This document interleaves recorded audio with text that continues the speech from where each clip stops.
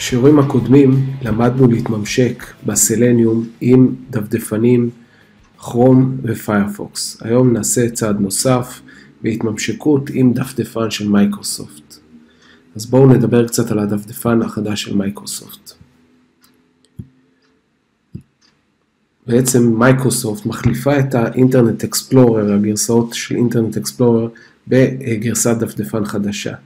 גרסת הדפדפן החדשה נקראת מייקרוסופט Edge וזה cross platform, זה בעצם דפדפן שאמור להיות תחליף של האינטרנט אקספלורר בכל מערכות ההפעלה העתידיות של מייקרוסופט. הוא אמור לשפר את הביצועים ולהיות בעצם הדפדפן העתידי של מערכת ההפעלה.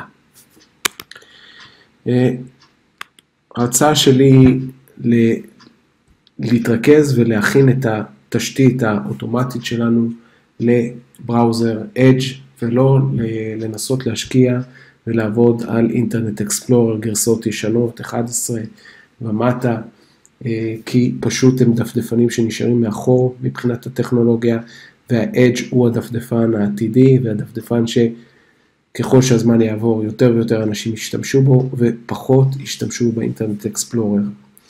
גרסאות רבות של אתרים ותוכנות בעצם לא תומכות כבר באינטרנט אקספלורר אלא בגרסאות ה-Edge, בגרסאות הגרסה החדשה של הדפדפן של מייקרוסופט.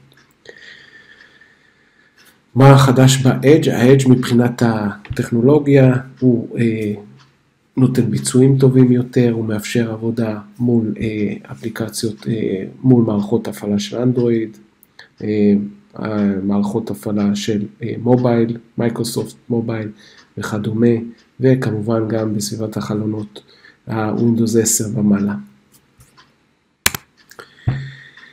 לפני שאנחנו מתחילים, כדאי שנבין ונראה שבאמת במערכת הפעלה שלנו, אם אנחנו עובדים עם מייקרוסופט, יש לנו את גרסת ה-Edge, ואנחנו יכולים לעבוד איתה. תכף אנחנו נראה דוגמה של דפדפן ה-Edge.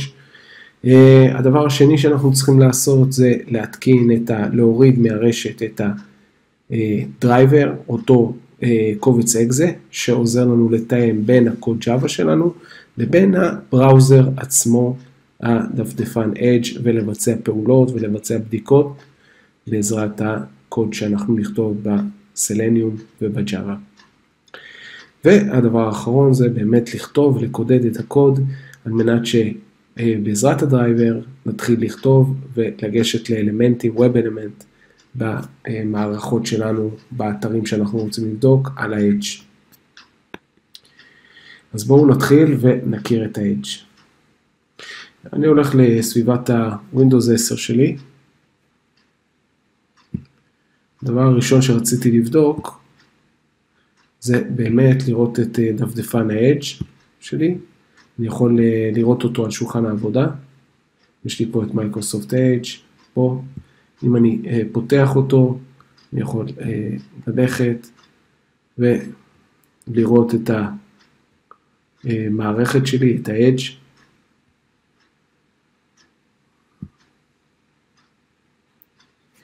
אז אה, זהו, אנחנו רואים שבאמת מותקן לנו מערכת, את הדפדפן החדש, Edge, ואנחנו יכולים להתחיל לעבוד ולהתחיל לקנפג את הסלניום שלנו על מנת לעבוד עם הדפדפן החדש. אז בואו נתחיל, בואו נראה איך אנחנו עושים את זה.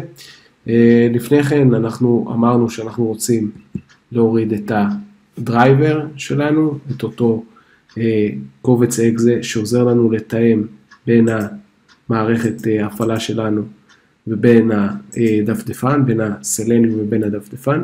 מה שאנחנו צריכים להוריד זה את הקובץ, בואו נוריד אותו, נחפש את זה בגוגל. אנחנו צריכים להוריד את הקובץ שנקרא ה-driver מייקרוסופט.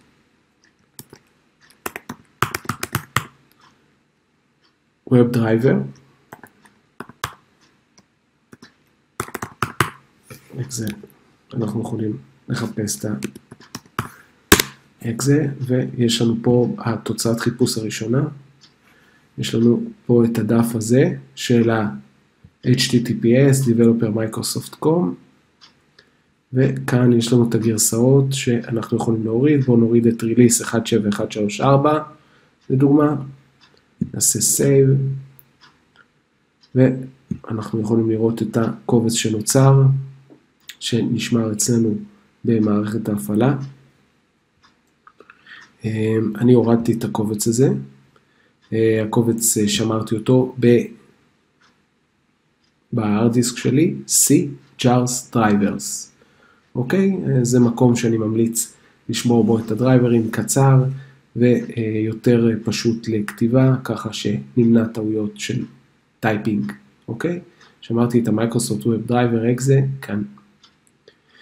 כל מה שנותר לנו, השלב השלישי זה בעצם להכין את ה-class שלנו, להתחיל לעבוד, יצרתי לעצמי class, בואו, סליחה, בואו ניצור לעצמנו איזשהו class, פה אני יצרתי לעצמי פקאג' ויש לי קלאס, אני מייצר פה סלניום, with edge,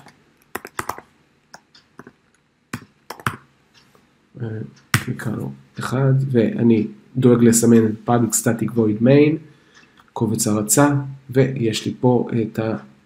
בעצם את הקלאס שלי, שיש לו את המתודה public static void main, שבעצם מאפשרת לי להריץ פה את הקוד שלי. אז איך אני